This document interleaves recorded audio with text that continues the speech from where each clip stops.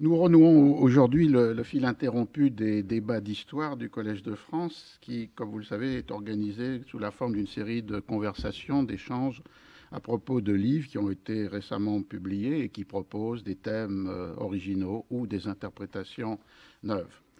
Et je crois qu'il n'y avait pas de meilleur hôte pour reprendre cette série que Serge Gruzinski, qui vient de publier chez Fayard un nouveau livre intitulé La machine à remonter le temps, quand l'Europe s'est mise à écrire l'histoire du monde. Dans cet ouvrage, Serge Gruzinski veut comprendre et veut faire comprendre comment s'est opéré ce qu'il appelle la globalisation de l'histoire, entendue dans cette expression comme la mise en histoire du monde par les chroniqueurs et les historiens européens.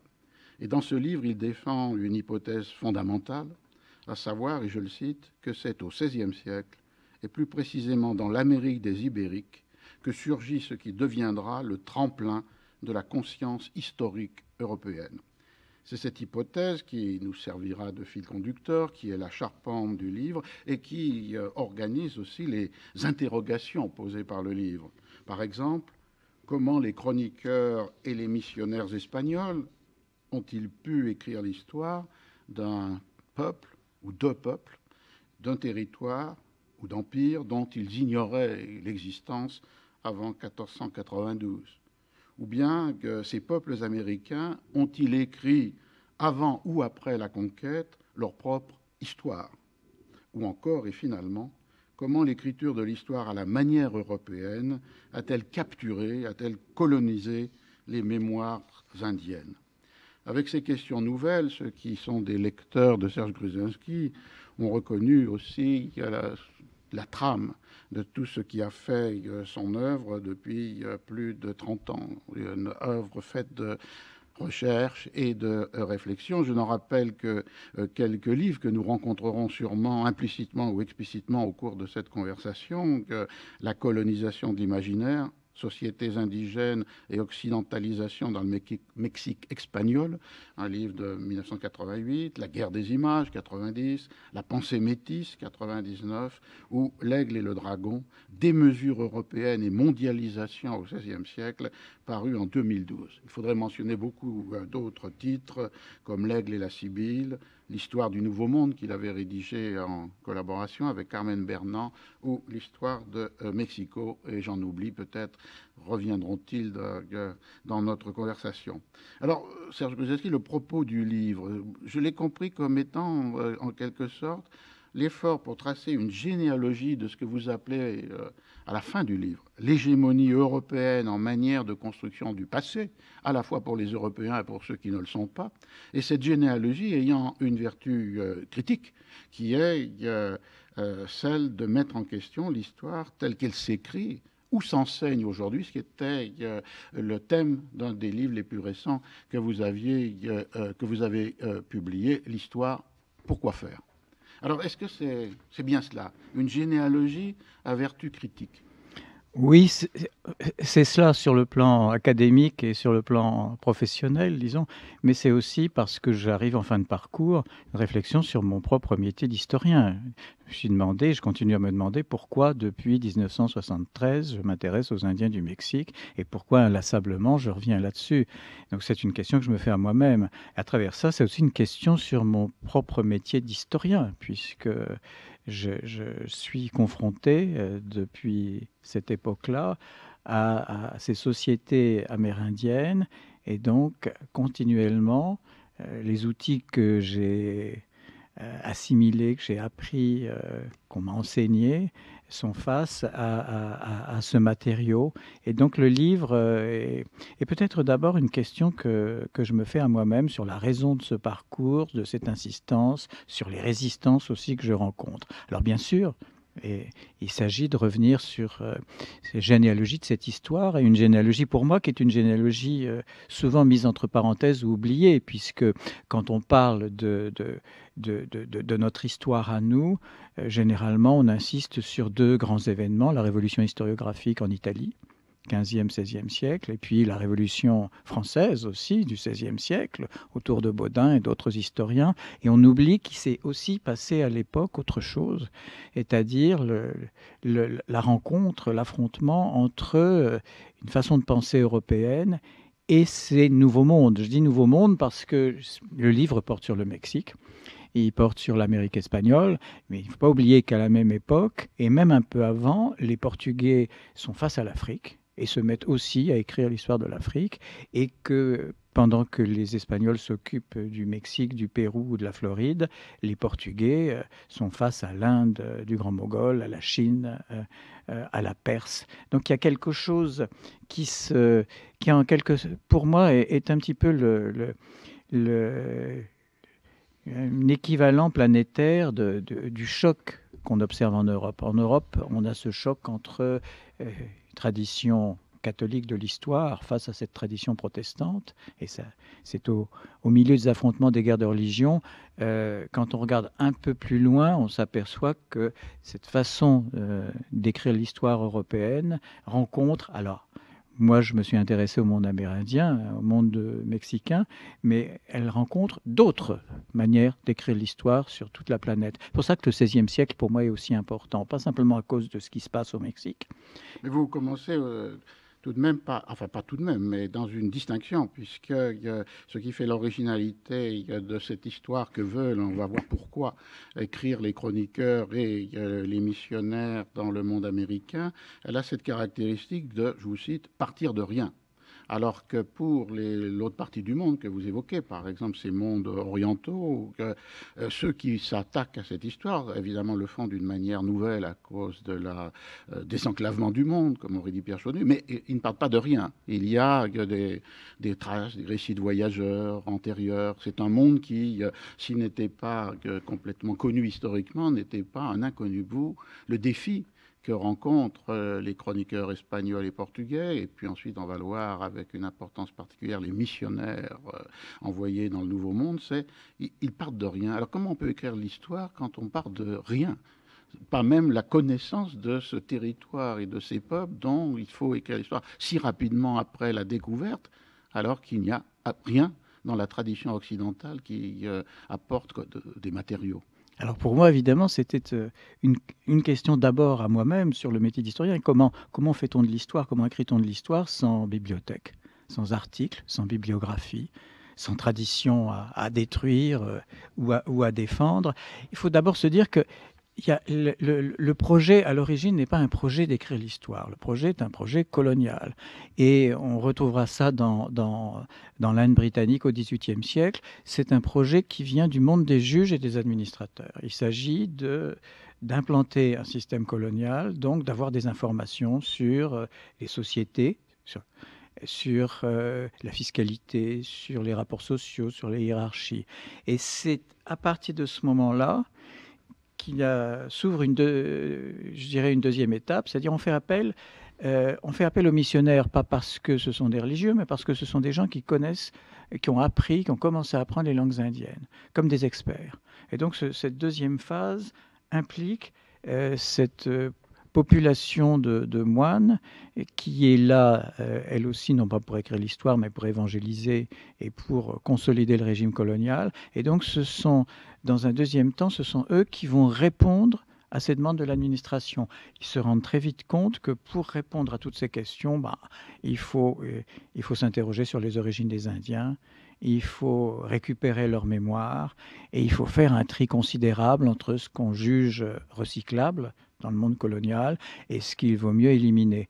Et euh, ce qui m'avait frappé, c'est que cette, euh, cette aventure qui commence au Mexique euh, dans les années 1530 va se reproduire pratiquement à l'identique autour de 1760-1770 dans l'Inde qui n'est pas encore l'Empire britannique, mais qui est en train d'être pénétrée par les Anglais. C'est-à-dire qu'on va avoir l'administration, la demande des juges, la curiosité, l'impératif colonial, et puis là des missionnaires, cette fois-là ce seront des missionnaires protestants, pas catholiques, qui vont par leur connaissance des langues indiennes, apporter les matériaux. Et c'est là aussi, en Inde, comme au Mexique, qu'on va euh, nouer ce rapport avec les élites locales, puisqu'il n'y a pas d'écriture de l'histoire sans rapport avec ces représentants des sociétés indigènes qu'on va former dans des collèges à Bombay, à Madras, à Calcutta, comme on les a formés euh, des siècles plus tôt à Mexico, euh, au collège de Tlatelolco.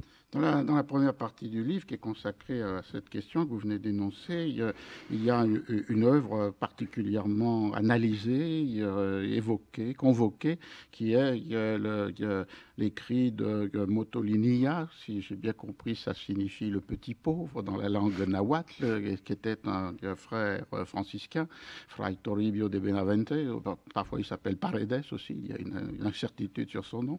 Et l'intérêt de, de, de, de ce livre, euh, que l'on connaît maintenant et dans des éditions même récentes, l'une de l'Académie royale espagnole comme l'histoire des Indiens de la Nouvelle-Espagne, dans les trois manuscrits qui en ont survécu, du XVIe siècle, dans le titre apparaît toujours rite, euh, sacrifice et idolâtrie. Alors, est-ce que, même si, comme vous le dites, les missionnaires sont enrôlés dans ce projet colonial de type administratif, lui l'histoire euh, des peuples indiens, il l'aperçoit dans une autre perspective, qui est effectivement euh, euh, de savoir ce qu'était l'idolâtrie pour pouvoir l'extirper.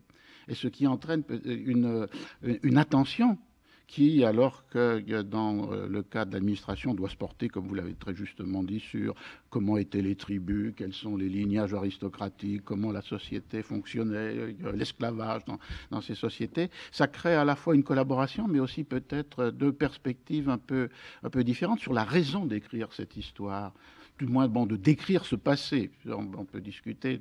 Euh, est-ce que vous ces deux, formes qui sont très présentes dans la première partie du livre, vous les voyez plutôt comme une, coalition, une conciliation, ou, plutôt comme poursuivant finalement des, objectifs noués mais différents?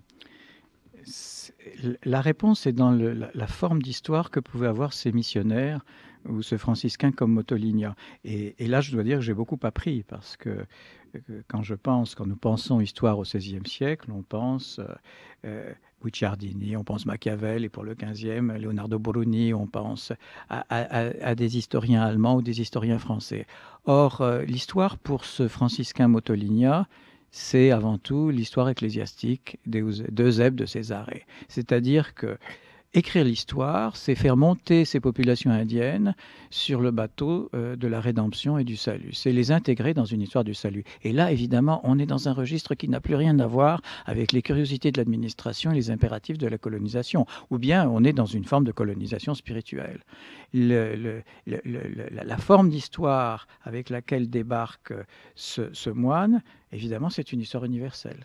Et c'est une histoire, Historia Salutis, c'est une histoire du salut. C'est-à-dire qu'il y a, je dirais presque au risque de l'anachronisme, j'ai toujours l'impression que c'est un véritable historicisme. C'est-à-dire que c'est euh, l'histoire du salut qui explique les sociétés, qui explique le passé, le présent, l'avenir.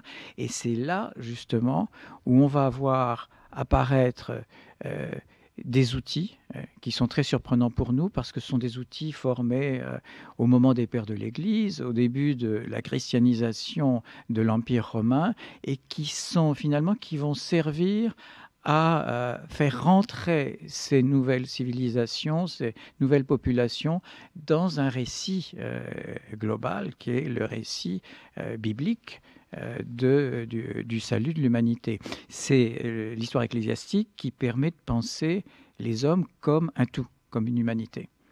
Et qui en plus, et ça c'est fondamental, et on, va retrouver, on retrouvera ça peut-être uniquement avec le marxisme, qui donne un sens à l'existence. C'est-à-dire que l'existence des hommes, elle doit être tendue vers le salut, vers, euh, vers le jugement dernier.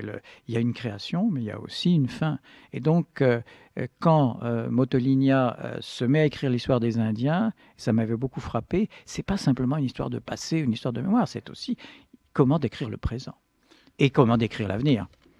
Oui, parce que on a l'impression que la méthode pour euh, penser cette histoire, qui a ses racines dans la grande tradition de l'histoire ecclésiastique, qui elle-même euh, est articulée sur le récit biblique, comme vous venez de le dire, c'est une forme de ce qu'on appelait pour la lecture de la Bible une lecture typologique. C'est-à-dire, on compare systématiquement un passage de l'Ancien Testament avec ce qu'il préfigure et devient dans le Nouveau Testament. Et vous montrez que cette technique, qui était sans doute la lecture de la Bible héritée de cette longue tradition chrétienne, elle devient une technique de savoir ou de description historique, puisque confrontée à l'effondrement de, de l'Empire mexicain, confrontée au aux multiples raisons de la destruction des populations indiennes, euh, notre petit pauvre Motolinéa emploie cette technique euh, et, systématiquement donne comme grille d'interprétation des événements bibliques. Alors est-ce que, à votre avis, c'est une sorte d'application à, un matériau qui est le matériau du présent, comme vous venez de le dire, destruction d'une culture euh, indienne, ou même récit de la colonisation, toujours pense, enfin de l'évangélisation, pardon, toujours pensé dans un modèle biblique? Est-ce qu'on pourrait pas dire que finalement c'est euh, une histoire typologique au sens qu'on employait dans la, dans la critique biblique? Parfaitement.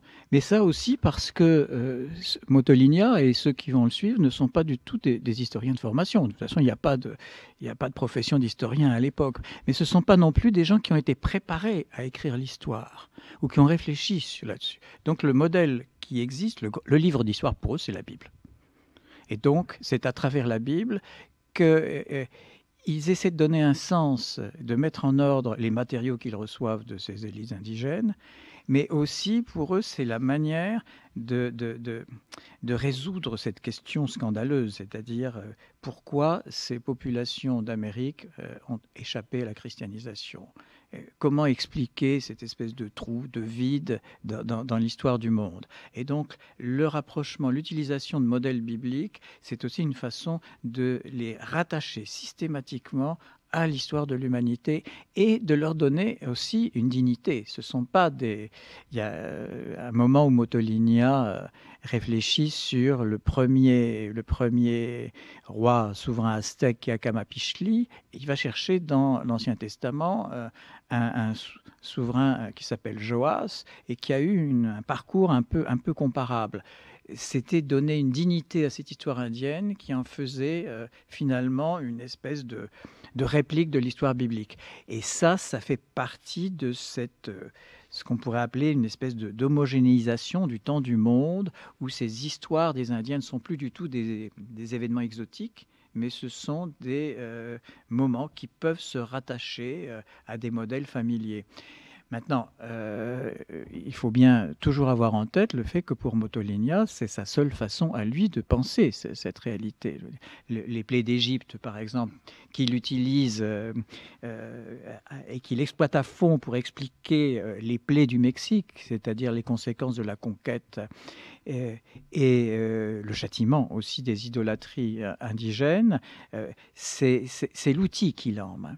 Ce qui nous surprend, c'est que pour un historien comme moi, l'histoire au XVIe siècle, c'est pas l'histoire ecclésiastique. Je veux dire, nous sommes euh, aussi prisonniers d'une généalogie qui a favorisé des modèles beaucoup plus sécularisés d'histoire. Je pense à un illustre italien comme Francesco Guicciardini, qui fait de l'histoire politique, diplomatique, euh, mais qui ne, qui ne fait très peu intervenir la divine providence et qui, a des formes d'histoire qui étaient encore dominantes jusqu'au début du XXe siècle, jusqu'à ce qu'arrive notre fameuse école des annales.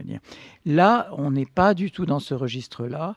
Et quelqu'un d'ailleurs récemment, comme Anthony Grafton, a rappelé que l'histoire ecclésiastique était beaucoup plus importante qu'on l'imaginait, puisque en fait, euh, elle domine le XVIe siècle pour la simple raison que les protestants font de l'histoire ecclésiastique pour démontrer la décrépitude de l'Église romaine et que Baronius et les catholiques en face font aussi de l'histoire ecclésiastique pour montrer les erreurs des protestants. Donc on, est aussi nous-mêmes, et c'est un petit peu la leçon que moi j'ai appris en tant qu'historien, on a une vision du XVIe siècle, des historiens du XVIe siècle qui est très déformée suite aux choix qui ont été faits au XIXe siècle euh, de certains historiens et suite aussi au rejet euh, et à la difficulté que nous avons aujourd'hui à traiter le religieux et l'histoire ecclésiastique comme quelque chose de parfaitement archaïque, euh, dépassé, alors que cet instrument archaïque et dépassé a permis à ces moines euh, d'écrire l'histoire de ces Indiens. Et cette histoire l'histoire de ces Indiens, c'est l'histoire qu'on utilise encore aujourd'hui, sur laquelle toute la bibliographie du Mexique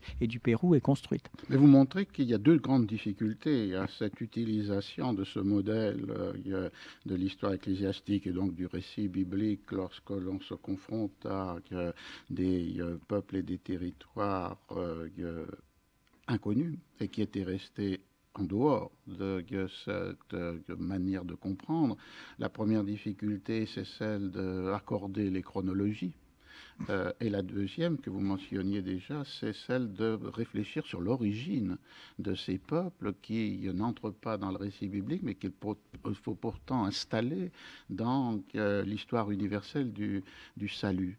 Alors, comment les missionnaires, Motolinia, mais aussi d'autres que vous étudiez, et puis des, chroniqueurs euh, euh, espagnols ou portugais, dont certains ont voyagé aux Indes, dont d'autres sont restés euh, dans leur cabinet d'études. Comment ils affrontent ces deux difficultés? Ils perçoivent des chronologies qui sont différentes de la nôtre, si j'ose dire, en tant que monde d'Occident. Et puis d'autre part, quelles sont les hypothèses sur euh, les origines des Indiens qui permettent plus que d'autres euh, de les rattacher à cette histoire universelle? Et de, et de les rattacher en particulier à l'Antiquité. Puisque si nous revenons dans un cadre classique d'histoire du XVIe siècle, la grande découverte du XVe siècle italien, c'est l'existence de l'Antiquité, d'une période qui serait séparée du, du, du, monde contemporain par les ténèbres du Moyen Âge, et donc la, construction historique se fait, euh, se construit à partir d'un tête-à-tête ou d'un face-à-face avec, avec cette antiquité. Les hypothèses qu'on fait en Amérique ou qu'on fait en Europe sur l'origine des Indiens, alors première hypothèse euh, qui les rattache directement à la Bible, ce sont des tribus d'Israël perdues. Et donc, on a enfin retrouvé ces tribus. Euh, le, elles sont, et tous les observateurs s'accordent sur l'idée que ces populations indigènes partent d'une forme de monothéisme. Le monothéisme n'est pas un aboutissement, mais un point de départ qui ensuite est dégradé dans des formes d'idolâtrie. Deuxième, euh, une autre hypothèse, ce sont euh, les voyages à travers l'Atlantique des Carthaginois, c'est l'Atlantide. Et euh, il est extrêmement intéressant, non pas pour comprendre l'origine des Indiens, mais pour comprendre le fonctionnement de cette, de cette de, cette pensée européenne, de voir pendant tout le XVIe siècle continuellement des hypothèses avancées, comme s'il fallait à tout prix pour nous, Européens, que ces autres peuples aient des origines, comme si nous avions besoin de savoir d'où venaient ces populations. Et ça, c'est aussi quelque chose d'extrêmement euh, intrigant et d'extrêmement intéressant. Euh, et c'est là où on retrouve ce besoin de faire l'histoire des autres qui est tout de même une caractéristique proprement européenne et qui restera une caractéristique proprement européenne. L'hypothèse des descendants de Noé, qui sont une possibilité. Mais alors, vous évoquez aussi le moment où on va basculer à l'idée que dans ces peuples primitifs, euh, on n'est plus dans ce registre-là d'une humanité euh, qui serait euh, diverse, mais avec des traits d'identité, mais on est dans, avec l'hypothèse des géants on bascule dans quelque chose d'autre. C'est une autre trace d'une d'un vieil imaginaire médiéval. Et euh, biblique, puisque les, géants sont aussi dans la Bible. Et on est toujours dans ces modèles qui, nous, euh, historiens contemporains, nous déconcertent beaucoup, puisque ce, monde biblique était très présent, euh, et pas seulement chez les, historiens ou, les chroniqueurs. Et ce, cette idée qu'on a après euh, perdu de vue au XVIIIe siècle, c'est que tous les hommes viennent de la même origine. Ce qui suppose, et ça c'est extrêmement important, que tous les hommes sont à être, doivent être traités sur le même plan.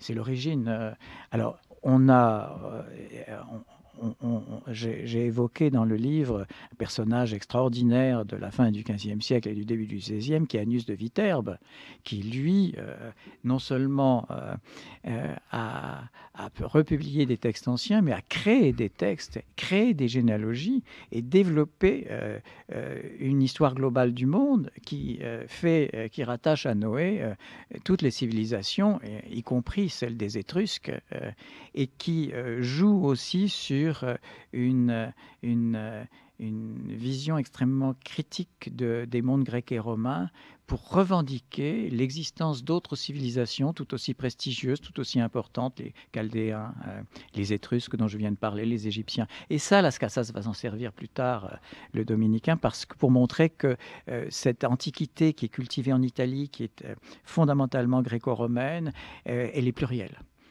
et qu'après tout, s'il y a des antiquités plurielles, il peut aussi y avoir une antiquité amérindienne. Tout ça fait partie de cette cuisine euh, extrêmement complexe euh, qui euh, se fabrique durant tout le XVIe siècle, et pas seulement en Espagne, au Portugal, mais aussi dans le reste de l'Europe. Pour, pour, pour, conclure cette première approche, il y a deux mots dans votre texte qui sont importants, parce que c'est des mots du temps. L'un que l'on vient de, voir, sans le nommer, concordancia, donc les concordances, les jeux d'écho, les comparaisons, cette lecture euh, d'analogique finalement, peut-être avec sa matrice biblique et employée pour la compréhension euh, du présent, qui ne peut être compris que si on le réfère à une réalité déjà là, antérieure. Et l'autre mot, c'est inquisition, euh, et dans le sens non seulement de la vraie inquisition, mais aussi dans le sens de l'enquête, de la recherche. Et euh, c'est pour ça peut-être que ce serait une transition sur notre second thème. Euh, ces missionnaires, leur information, comme vous l'avez dit, c'est pas une bibliothèque. Il n'y a rien, il n'y a pas de bibliothèque euh, américaine et dans leur propre bibliothèque, il n'y a rien directement sur le Nouveau Monde. Et donc les deux sources d'information, c'est la parole vive et c'est les codex, les livres dans ce sens euh, élargi que, les Indiens ont, euh, ont, peint.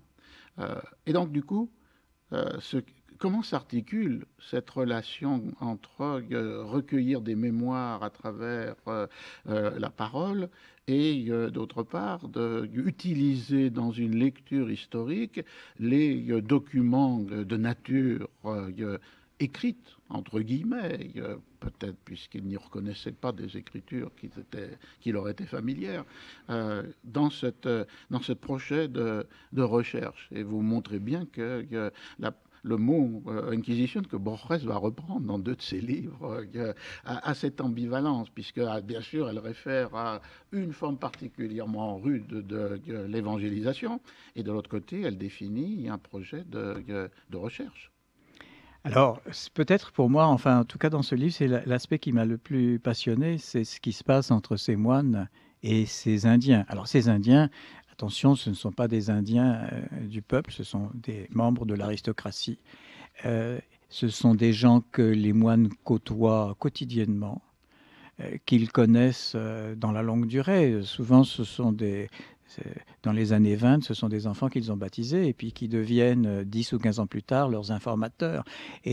Là, c'est très difficile à percevoir dans les archives, ce rapport de complicité mm. ou d'amitié, euh, ce paternalisme, cette proximité physique, puisque quand on est dans un village indien et qu'on est un moine espagnol euh, plus ou moins cultivé, ben, on n'a pas beaucoup d'interlocuteurs, sauf euh, ces membres de l'aristocratie indienne qui ont appris un peu de latin et qui connaissent un peu d'espagnol. Donc, tout se passe entre eux dans ce face-à-face, puisque même les codex qu'on montre aux, moines sont forcément interprétés par ses interlocuteurs. Et euh, vous avez utilisé le mot inquisition. Je pense que pour moi, je, suis tout à fait d'accord là-dessus, mais c'est plutôt une trilogie, c'est confession, inquisition, information. Alors on les appelle des, informantes, ce sont des informateurs. Sauf qu'on leur demande de parler de ce qu'on veut extirper et détruire, c'est-à-dire euh, en grande partie les rites et les idolâtries. Euh, on leur demande d'être le plus sincère possible. Mais s'ils sont trop passionnés ou euh, peut-être trop intéressés, peut-être que l'échange deviendra un échange d'inquisition, c'est-à-dire que euh, l'échange deviendra suspect. Donc, inquisition, information, confession, oui, dites toute la vérité, allez jusqu'au fond des choses. Et en même temps, ce sont les choses que vous devez oublier. C'est une situation extrêmement compliquée et totalement neuve. Alors, il faut aussi se rappeler qu'elle se passe, euh, dans le cas des Indiens que j'ai regardés de près, en nahuatl, c'est-à-dire pas en espagnol. Donc, elle, ne se passe pas dans une langue euh, européenne. Et ça aussi, c'est une situation totalement nouvelle. Et euh, vous avez évoqué les codex qui sont ces manuscrits peints. Les pièces qu'on utilise, les documents qu'on utilise ne sont pas des documents écrits, ce ne sont pas des manuscrits. Et parfois aussi, on utilise les restes archéologiques, c'est-à-dire qu'il y a une dimension que moi j'ai découverte en, écrivant euh, ce livre. Il y a toute une tradition de ce qu'on appelle les antiquaires, depuis Varron, depuis l'Antiquité, de gens qui ne sont pas des historiens, mais qui décrivent les rites, qui décrivent les sacrifices, qui les pratiques religieuses, les coutumes, les pratiques sexuelles, les coutumes alimentaires, les monuments. Et donc, euh, ces, moines qui n'ont pas de raison de, se plier à un modèle d'écriture de, l'histoire ou à une, une forme d'histoire particulière sont aussi des gens qui doivent sans arrêt recourir à ce qui s'est développé beaucoup dans, l'Italie du XVe siècle, c'est-à-dire la description, la description de ce qu'on voit, la description de ce qui deviendra bien plus tard l'histoire des mentalités, l'histoire culturelle ou l'ethno-histoire. Donc il y a tous ces éléments qui sont, en jeu avec, euh, et ça on ne peut jamais l'oublier, on est dans une situation coloniale, c'est-à-dire que les moines occupent une, une position euh, apparemment dominante, et en même temps, sans la voix, sans la parole vive, pour reprendre votre expression, de, des Indiens, ils ne peuvent strictement rien écrire. Ce qui crée évidemment, pour moi, une situation tout à fait passionnante, puisque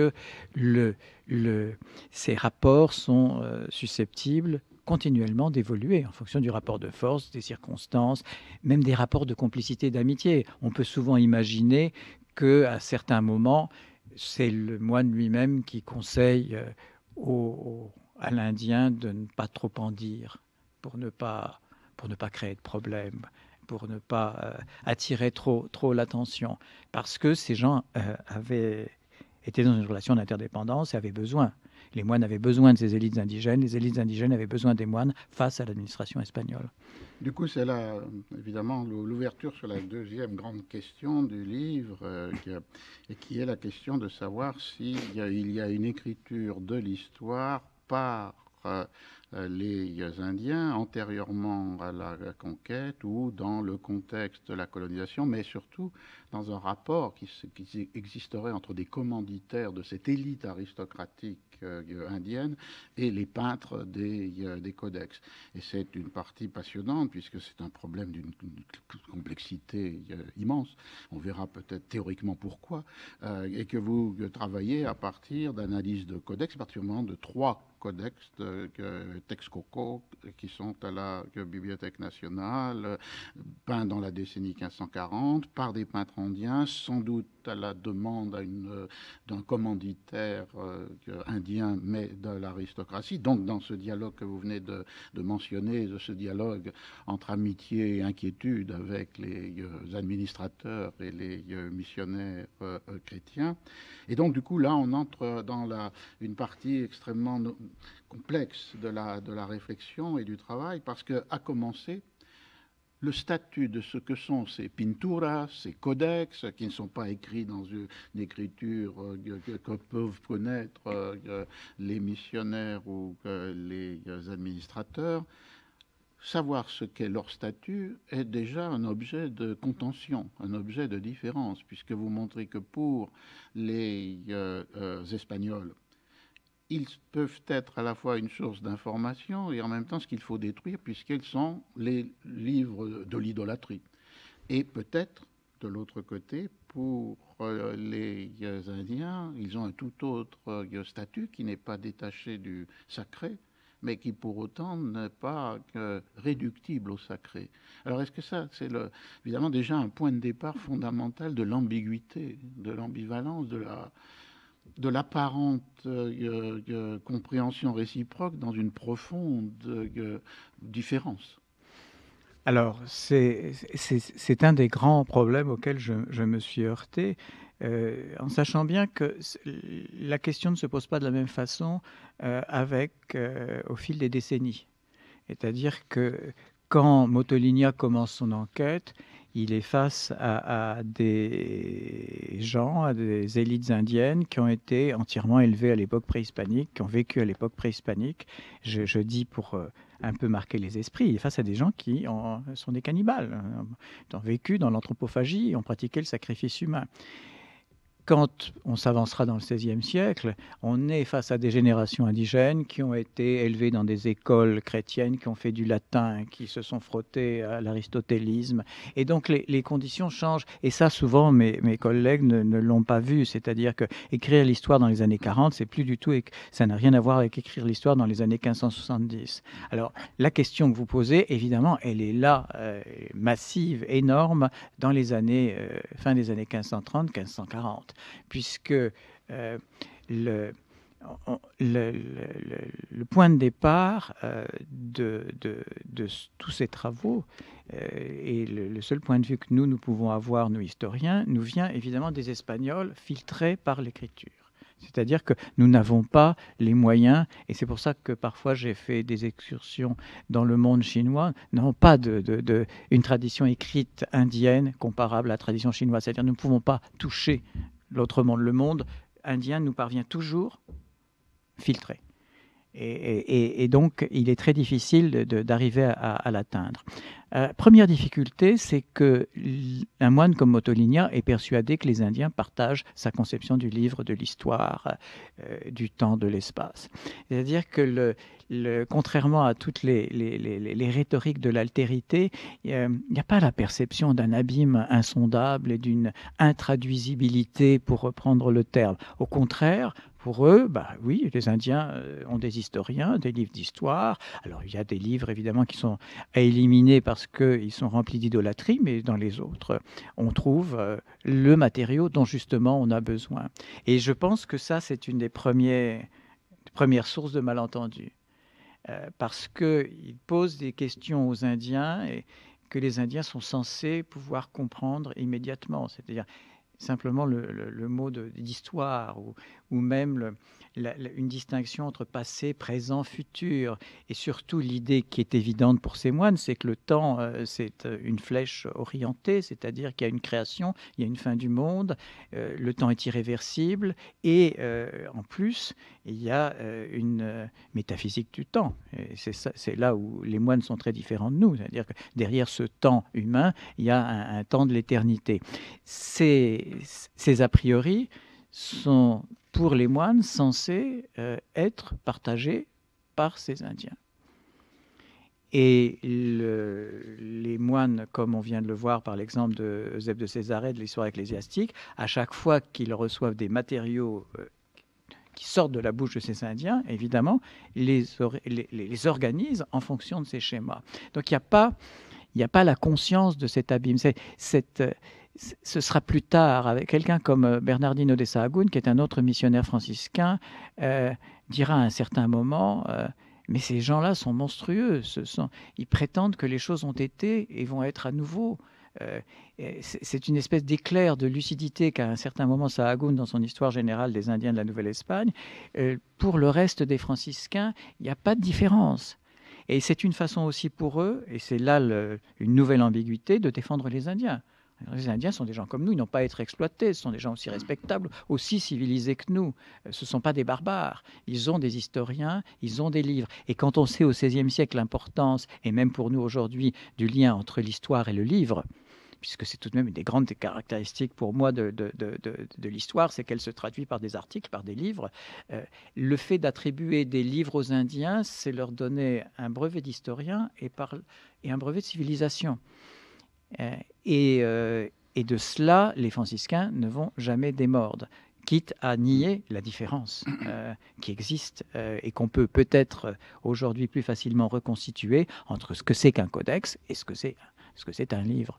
Mais vous dites aussi que peut-être d'emblée, dans cette première rencontre, d'un côté, puisque la question est ouverte de savoir s'il subsiste ne fût-ce qu'un seul, codex préhispanique, totalement euh, autochtone. Alors j'ai lu récemment qu'il y a des débats pour, puisque les datations sont extrêmement difficiles. Donc même à supposer qu'il en, existe, ils sont d'une rareté extrême puisqu'il y a une, une opération de destruction plus que massive qui est quasi totale. Euh, sur la volonté soit de clergés euh, séculiers, euh, soit des administrateurs. Et donc, du coup, ça, ça traduit que, peut-être pas pour les missionnaires dont vous parlez, mais sûrement d'une manière plus générale, le codex, c'est un instrument du culte idolatrique. Et donc euh, la destruction doit en être automatique, ce qui fait le paradoxe que vous avez mentionné entre le fait que c'est une des seules sources et pourtant c'est celle qu'il faut détruire. Donc euh, c'est une contradiction profonde d'emblée. Et d'autre part, vous dites que peut-être pour euh, ces aristocrates des élites indiennes, ce codex avait le statut, vous employez le mot, de lieu de mémoire c'est-à-dire euh, pas forcément une histoire, bien sûr sur le modèle euh, occidental de l'histoire, mais quelque chose qui avait à voir avec euh, non seulement le rapport au sacré, mais peut-être la revendication d'une légitimité politique, peut-être aussi quelque chose qui pouvait être marqué un, un territoire, une ancienneté d'occupation. Alors je suppose que dans cette distinction, comme vous l'avez très justement dit, la chronologie importe beaucoup. Mais est-ce qu'on peut garder cette idée que, pour les Espagnols, ou presque tous, euh, les codex ou codices, disons les codex, sont quelque chose, sont un objet euh, d'une sacralité à réprouver, donc à détruire systématiquement, ce qui fut. Et pour euh, les Indiens, et en particulier ceux qui commanditent aux peintres ces codex, inclusivement après la, conquête, il y a ce, statut plus euh, politique, euh, culturel, lignagé du lieu de mémoire. Je dirais que c'est peut-être un tout petit peu plus compliqué. D'abord, beaucoup de destructions sont euh, du fait des Indiens eux-mêmes. quand les Indiens, une affaire exceptionnelle, mais qui a beaucoup fait couler d'encre, qui été le bûcher du Don Carlos, le cacique de Texcoco, qui, euh, beaucoup plus pour des raisons politiques que religieuses, a été euh, éliminé par sa propre famille puis euh, par l'Inquisition mexicaine. Or, à l'époque, les élites indiennes, qui avaient conservé énormément de manuscrits, se sont rendues compte que ces manuscrits pouvaient éventuellement leur coûter très cher. Donc, il y a eu énormément de destructions faites par les Indiens eux-mêmes. Du côté espagnol, c'est compliqué parce qu'en même temps, on est au XVIe siècle, donc ce qui est ancien, c'est l'authentique et un codex préhispanique. C'est antiguo, antique, ancien, vrai, authentique. Il y a ce culte, on est dans le monde de la Renaissance, où ce qui, euh, qui n'utilise pas encore nos critères euh, de faux et de vrai, et qui, pour lequel ce qui est plus c'est vieux, plus c'est plus ça, ça, a une réalité euh, fondamentale pour le présent. Et donc les, les, les, les missionnaires sont, sont, très partagés, d'autant plus qu'ils partent d'une d'une idée très simple, apparemment très claire, c'est-à-dire que euh, dans le, monde indien, euh, il y a à la fois des choses à éliminer et des choses à conserver. Et ça, on oublie beaucoup. C'est-à-dire qu'il y a énormément d'éléments qu'il faut recycler et conserver. Il y a donc tout un travail de sélection dans leur tête à faire entre ce qui est interdit, ce qui doit impitoyablement être extirpé, mais ce qu'il faut à tout prix conserver. Et cette limite entre l'interdit et, le licite, l'autorisé, elle est extrêmement difficile à marquer. C'est-à-dire, qu'est-ce qui est païen et qu'est-ce qui ne l'est pas? Comme s'il existait dans, le monde indigène des zones neutres qui ne seraient pas religieuses, qui seraient profanes, euh, qui seraient ségularisées. Euh, évidemment, ça n'existe pas. Cette, cette, limite, euh, cette frontière arbitraire est introduite par, les moines. Or, les moines ne savent pas exactement où elle passe, parce que finalement, ils connaissent assez peu de choses du monde préhispanique, et les Indiens ne comprennent pas du tout pourquoi on veut, par exemple, les obliger à distinguer entre la fabula, en espagnol, c'est-à-dire ce qu'on appelle aujourd'hui le mythe, et la réalité. Euh, pour eux, cette, cette, distinction qui est encore fondamentale pour nous tous aujourd'hui n'a strictement aucun sens. Alors, ils sont obligés de la faire, mais selon quelles règles et quels critères Et c'est là justement où l'incertitude des moines et l'incertitude des Indiens eux-mêmes créent cette, laisse cette marge de manœuvre ouverte. Et c'est aussi pour nous, euh, historiens d'aujourd'hui ou simplement lecteurs, le une façon de, mieux mesurer le caractère très relatif de nos catégories. Est-ce que le mythe, c'est pas l'histoire aussi? Et on sait que même dans l'Europe du XVIe siècle, le, mythe est un élément fondamental. Les mythes d'origine des royautés françaises sont fondamentaux et que toute la partie mythique, même du, passé espagnol par exemple, c'est le début de l'histoire de l'Espagne. Donc on, est devant ces catégories et devant surtout cette cette porosité des frontières, cette, extrême difficulté à savoir exactement ce qui est païen et ce qui ne l'est pas. Et puis cette idée euh, étrange et extrêmement moderne, c'est qu'il existerait dans des sociétés des zones parfaitement euh, non contaminées par le religieux, si on traduit idolâtre par religieux. Oui, ce qui amène cet exercice magnifique que vous faites dans la deuxième partie du livre, qui est une lecture comparée d'un côté euh, du récit historique euh, des populations indiennes telles qu'on le rencontre chez euh, Motolinia, et que quand quelque sorte un processus de civilisation, on passe des chichimecs qui sont des barbares sauvages à la frontière de l'humanité pour entrer avec le peuple de Coloa et après les Mexicas dans des, des peuples civilisés. Et puis vous comparez dans une lecture euh, cette trajectoire narrative à travers, l'écrit. À ces trois codex que, nous, que je mentionnais pour commencer et qui racontent la même histoire dans un sens, le même passé, et qui montre à la fois des différences, puisque à les, à les déchiffrer, à les interpréter. Il n'y a pas ce, passage de la barbarie à la civilisation d'un peuple à un autre. Il y a, vous insistez beaucoup sur le fait que l'idée d'une civilisation, si on peut employer euh, le terme, il est liée à la fusion, au métissage entre différents peuples, dont aucun n'était euh, radicalement barbare. Donc, à la fois la même histoire avec des euh, modalités différentes, mais comme ces codex sont déjà peints à l'époque de la christianisation et de la colonisation, vous montrez aussi qu'avec euh, prudence ou des autocensure, il ne donne presque aucune place à ce qui était le répertoire des sacrifices, le répertoire des lieux de culte, le répertoire des, rituels d'idolâtrie pourchassés par les, par les Espagnols. Mais votre première réponse à cette question, les Indiens écrivent-ils l'histoire? Euh, est une réponse qui, tout en marquant des nuances, euh, dans le contenu de cette histoire, finalement, établit la possibilité d'un parallèle.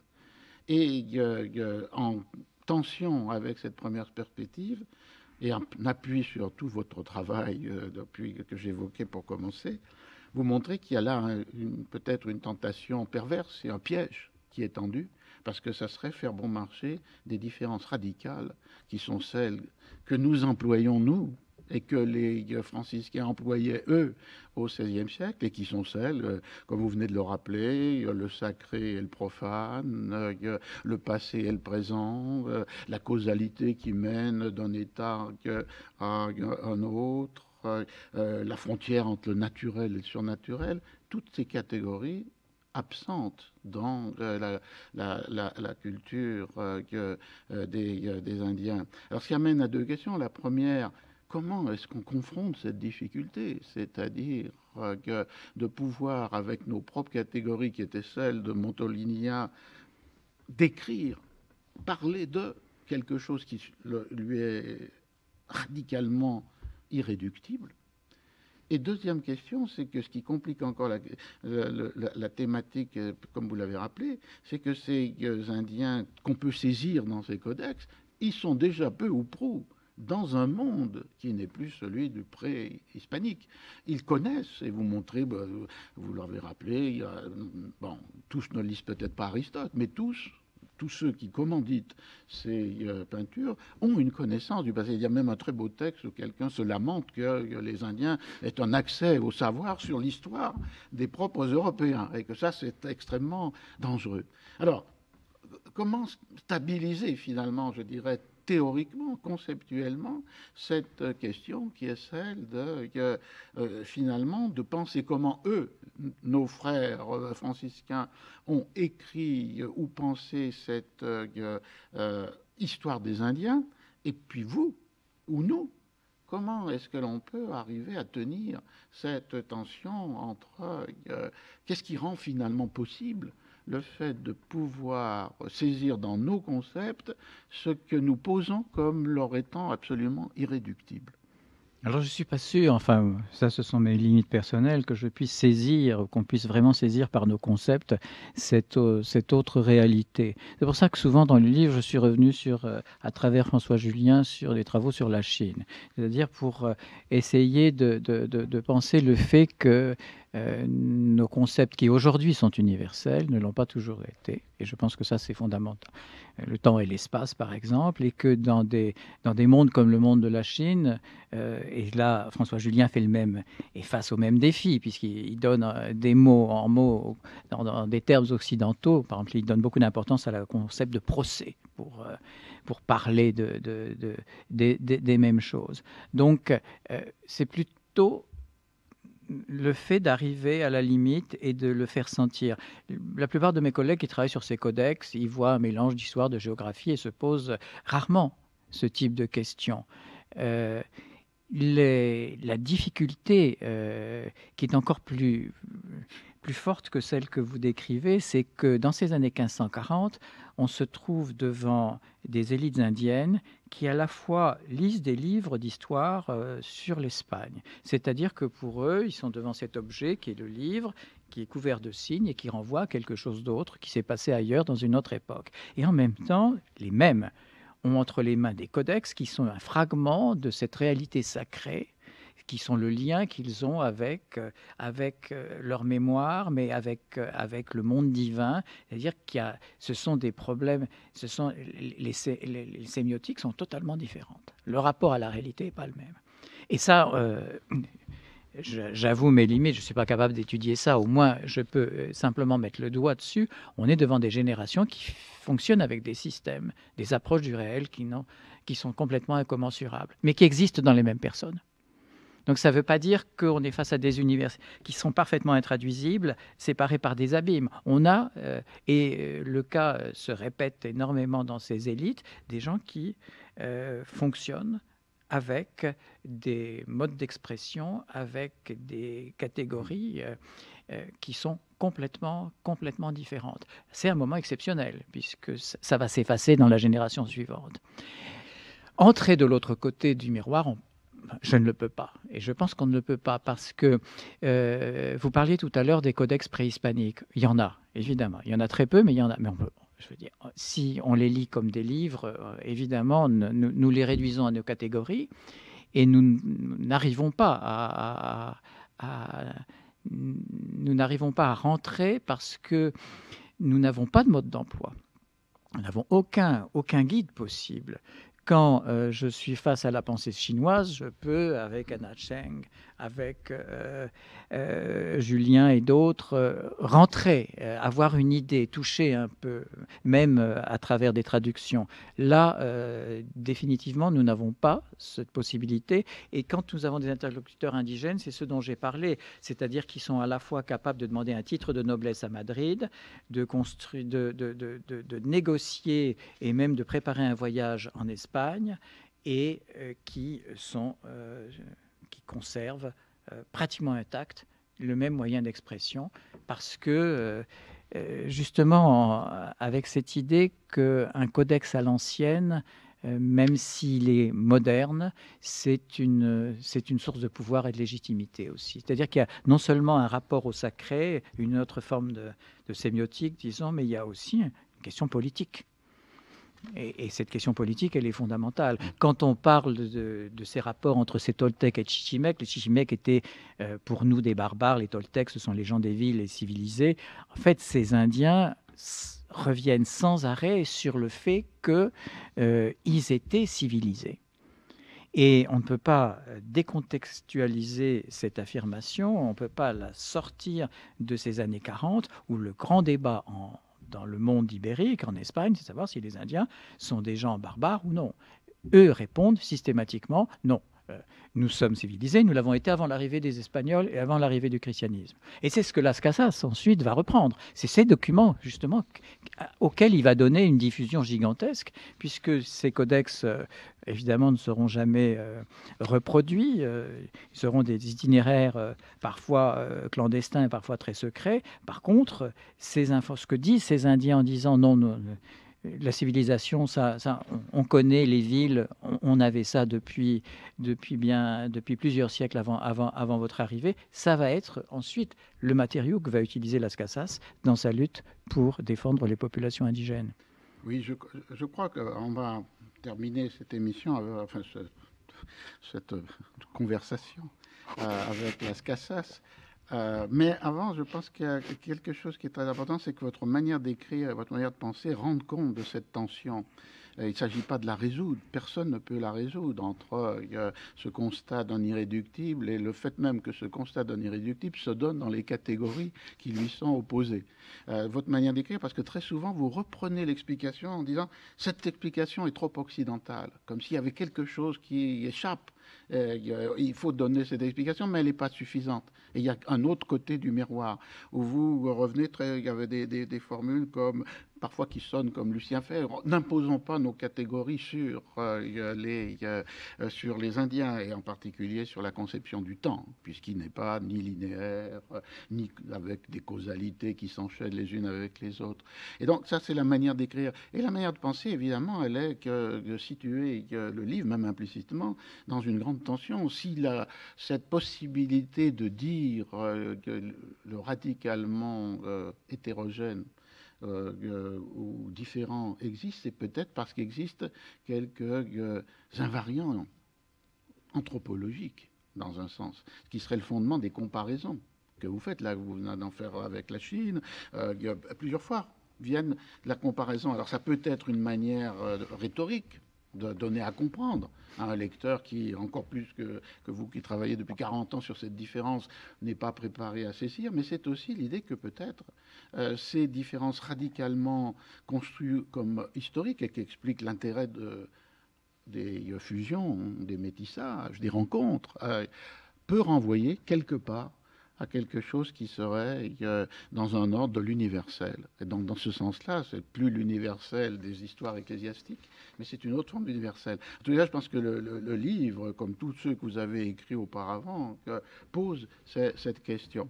Nous la laissons ouverte pour les lecteurs.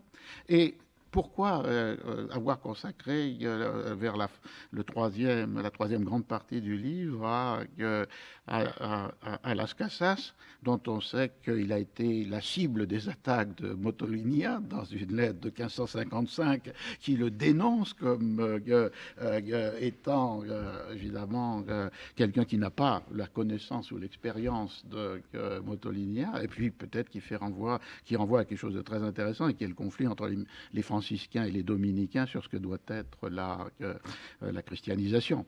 Alors bon, pourquoi avoir mis en parallèle avec votre cher Motolinia, le petit pauvre Las Casas? Pour une raison aussi de, de, presque de, généalogie locale, puisque bon, l'enquête démarre avec Motolinia. Motolinia euh, interroge ces élites de Texcoco. Ces élites, à la fois, produisent une série d'informations, mais en même temps fabrique les codex dont on vient de parler. Et ces codex, euh, Monteligna va les avoir entre les mains, et Las Casas aussi. Et donc, il y a, un processus. Euh, ce ne sont pas des, expériences isolées. Il y a une espèce de, suite, de séquence qui fait que l'enquête de Motoligna, euh, construction, fabrication de ces codex qui racontent le passé, utilisation par Las Casas de toutes ces informations, celles de Motolinia et celles des codex, et que Las Casas va mettre ces informations au service de la cause qu'il défend et qui, qui est très loin, qui, est, euh, qui serait celle d'un historien engagé ou d'un historien militant, qui est, qui est la défense des Indiens. Et donc, on passe là à une autre, à une, étape supérieure, si vous voulez, de, de l'historicisation, dans la mesure où Las Casas pense toutes les sociétés indigènes. Et là, c'est encore un effet européen, je veux dire, de, de créer cet objet qui n'a jamais existé, qui sont les Indiens des Amériques il faut juste signaler que la plupart des, lecteurs ou euh, de ceux qui nous écoutent connaissent euh, de Las Casas la très brève relation de la destruction des Indes, c'est-à-dire un, texte bref publié en 1552 et qui la, description sera traduit comme les cruautés et, et tyrannies des, Espagnols. Mais ce dont vous parlez ici, ce sont, euh, sans rupture avec cette brevissima relation, les deux grands ouvrages de Las Casas, l'histoire des Indes et puis euh, euh, l'histoire apologétique sommaire, et qui sont des textes immenses qui n'ont jamais été imprimés au cours du XVIe siècle. La première ne sera qu'à la fin du XIXe et la seconde, la Apologetica Historia, seulement au début du XXe. Et pour autant, pour vous que ces deux textes, même s'ils n'ont pas eu cette circulation dans leur forme euh, imprimée telle qu'on les rencontrerait aujourd'hui euh, dans les éditions qui se sont succédées après ces premières éditions, non seulement sont intéressants parce qu'ils euh, donnent, à voir la conscience de quelqu'un qui veut écrire l'histoire de la totalité des, des mondes, pour le moins des mondes atlantiques, et vous signalez l'importance de la lecture de Las Casas des chroniqueurs portugais, et en même temps, même s'ils n'ont pas eu cette euh, édition imprimée, ils ont eu des, un effet. Ils ont eu une puissance dans leur temps, et pas simplement pour un objet d'analyse historique a posteriori, comme on pourrait le faire dans le cas de l'histoire intellectuelle, en quelque sorte. Donc pour vous, c'est ça l'importance de Las Casas. C'est son contenu de pensée, et c'est le fait que c'est un texte, même non publié, qui a eu une importance en son temps. Las Casas a une importance euh, qui dépasse de beaucoup celle du défenseur des Indiens, dont on a beaucoup parlé dans, les 20 ou dans les 30 dernières années. Euh, d'une part parce que euh, ce petit texte qu'on a, qui, est très célèbre, La destruction des Indes, et qui a, été, qui a énormément circulé au XVIe siècle, finalement a des clés. Et ces clés sont dans ces grands ouvrages. une des clés qui m'intéressait beaucoup, c'est de voir que finalement l'expérience du Nouveau Monde, la mise en histoire du Nouveau Monde, dans le cas de Las Casas, obligé à faire le lien avec l'Afrique. Et ça, encore aujourd'hui, très peu de nos collègues font le lien entre l'histoire de l'Amérique et l'histoire de l'Afrique, je veux dire. Cette idée que finalement, comprendre la destruction des sociétés indigènes, la colonisation, la conquête de l'Amérique, obligé à revenir sur le monde portugais, sur l'Atlantique portugais, sur la mise en esclavage des populations noires, et donc de, créer euh, ce que j'appelle une histoire globale, c'est-à-dire de, non pas de juxtaposer l'histoire euh, des chapitres des histoires de continents, mais de dire attention, ce qui se passe en Amérique, euh, c'est connecté, comme on dirait aujourd'hui, c'est totalement lié à ce qui s'est passé au XVe siècle et ce qui continue de se passer en Afrique. Et donc ça, c'est un premier point qui m'a beaucoup intéressé. Deuxième point, c'est Las Casas, euh, à la différence de Motolinia, beaucoup plus un humaniste. Or, euh, parler d'histoire, euh, humanisme, renaissance au XVIe siècle, c'est parler de l'Antiquité. Et donc, Las Casas construit des antiguedades, c'est-à-dire des antiquités américaines.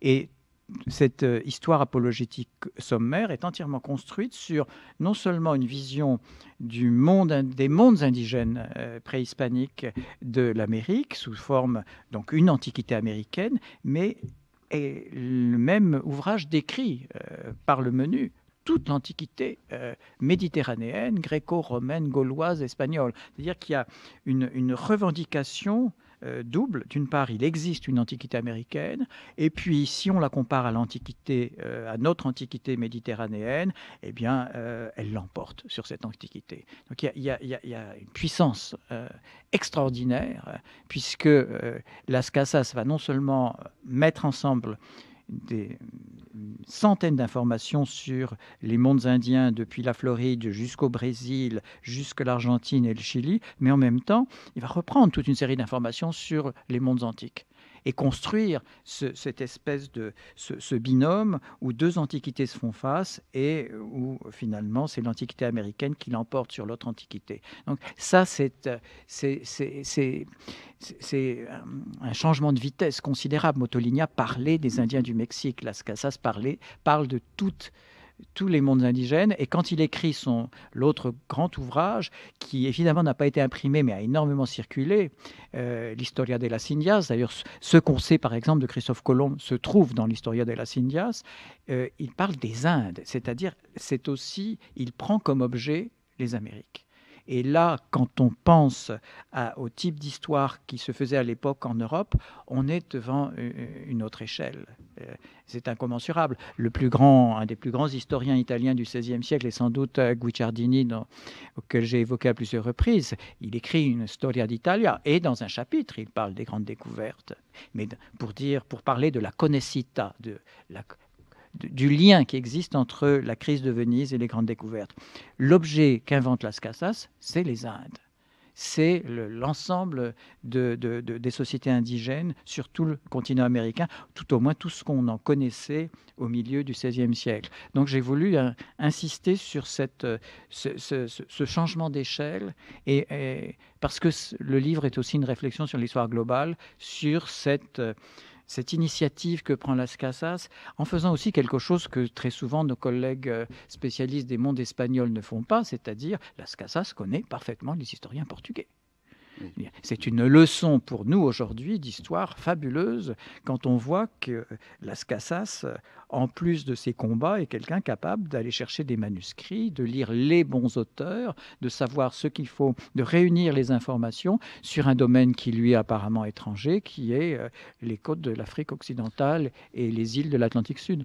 Et pour le relier à notre euh, conversation précédente, à notre échange précédent, évidemment, le soubassement de euh, cet euh, élargissement de la vision historique, c'est le postulat d'une unité du genre humain ce qui permet à la fois des comparaisons, et comme ce que vous le disiez, la supériorité des sociétés indiennes sur les, sur les, sociétés euh, de l'Antiquité euh, occidentale, euh, c'est ce qui permet aussi, évidemment, une, une nouvelle modalité de la pensée du rapport entre présent et passé, ou passé et présent, et qui est la préfiguration c'est-à-dire les événements. C'est plus la lecture typologique comme on l'a vu chez Montolinia, c'est euh, les événements peuvent être la préfiguration d'une euh, autre réalité. La destruction des Indes préfigure la destruction de l'Espagne, euh, et dans les traductions, la destruction des Indes peut préfigurer la destruction des Provinces-Unies,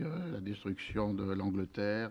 Donc il y a, là un, un modèle. On est on va, terminer parce que, évidemment, le temps a, passé. Le dernier élément de votre euh, réflexion, euh, c'est sur euh, finalement la tension qui existe entre la, les possibilités d'une ce que vous appelez une écriture métisse de l'histoire, qui, dans un contexte particulier de la fin du XVIe siècle au Mexique, a laissé des traces et en même temps la conclusion plus euh, finale, qui est celle euh, par laquelle nous avons commencé, l'hégémonie européenne sur l'écriture des passés, quels qu'en soient les, euh, les, lieux. Alors cette dernière tension, vous la mettez en place avec l'analyse très fine, très subtile d'un certain nombre d'écrivains métis ou de métis écrivains qui vont proposer avec euh, dans un cadre qui leur est imposé, euh, mais quelquefois aussi euh, en le déplaçant,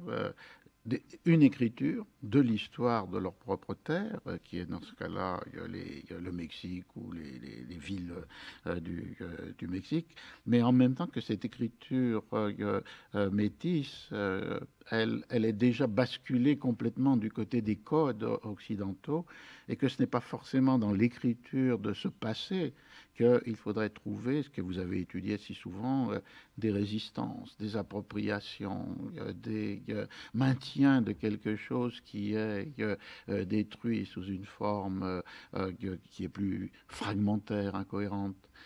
et donc, du coup, cette fin du XVIe siècle, elle ouvre qu'à cette double idée, la colonisation des mémoires et la mise en histoire sur le mode européen l'histoire du monde.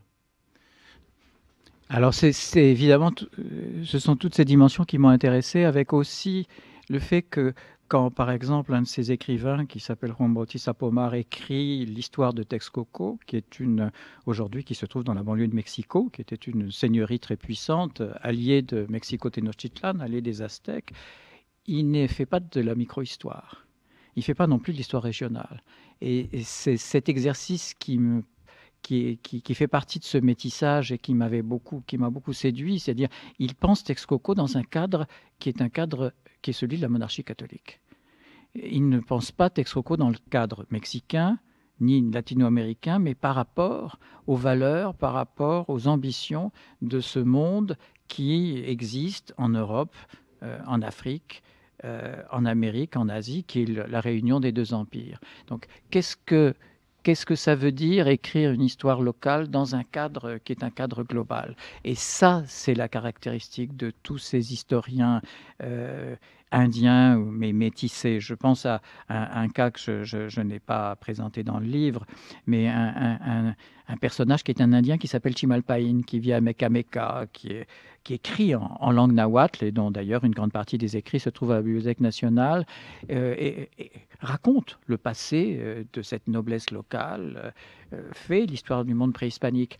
Mais en même temps, il, il lit Sainte-Thérèse d'Avila et en même temps, il va consacrer des chapitres à l'arrivée des Japonais dans la ville de Mexico. J'ai essayé de comprendre ce que ça voulait dire, euh, rendre euh, compte du local dans un cadre qui ne pouvait pas être national, puisqu'on n'est pas encore euh, ni au XVIIIe ni au XIXe siècle, mais qui, était, qui est déjà un cadre planétaire. Comment les, quand Pomar, dont on a parlé, il écrit, il fait une, description de Texcoco, mais il le fait pour répondre à une demande qui vient de Madrid. Ce n'est pas une, c'est pas une façon de s'affirmer par rapport à, la capitale Mexico ou par rapport à, euh, par rapport au Pérou. C'est, il, il répond à des impulsions et il construit son histoire par rapport à des valeurs qui sont celles euh, d'un empire. Vous montrez bien d'ailleurs que cette, euh, peut-être comme lecteur de Las Casas, où il y a une volonté de réhabilitation d'un passé euh, préhispanique, mais qui ne peut se faire dans ce contexte-là. De Pomar, on est dans les années 1580, qui ne peut se faire que par l'adoption des catégories européennes. Et les passages très passionnants vous consacrez à la manière d'aborder euh, le, les sacrifices humains dans cette nouvelle perspective. C'est-à-dire qu'il faut à la fois en limiter l'importance, les attribuer à un seul peuple, considérer que euh, finalement la croyance aux idoles était peut-être beaucoup plus détachée, sceptique que, ne le donneraient euh, les premiers missionnaires lorsqu'ils les pourchassent, qui a on insiste sur ce thème que vous avez évoqué, peut-être d'un monothéisme original. Euh, alors donc il y a une réécriture finalement de ce passé, plus ou moins pour la faire euh, coïncider avec ce qu'en attendent euh, les colons et les chrétiens. Et en même temps, c'est la manière de réhabiliter ce passé et de dénoncer finalement des éléments du présent dans cette, euh, dans cette tension.